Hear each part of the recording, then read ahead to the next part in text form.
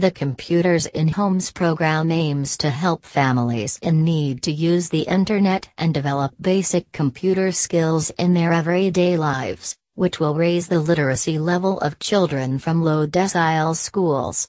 Families are provided with a recycled computer, Internet access, training, and technical support. The other uses are Kids play games, Music collection, Microprocessor technology aids in baking etc. like microwave oven,